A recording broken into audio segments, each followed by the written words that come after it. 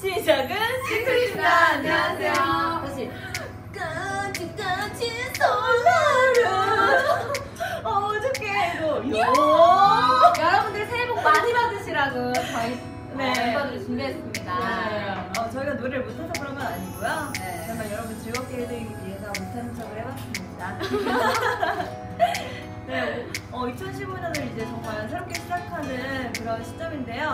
정말 일만 가득하길 바라겠고, 저희 시크릿도 2015년을 알차게 보내도록 더 열심히 활동할 테니까 많은 사랑 부탁드릴게요. 결국엔 시크릿이었습니다. 감사합니다.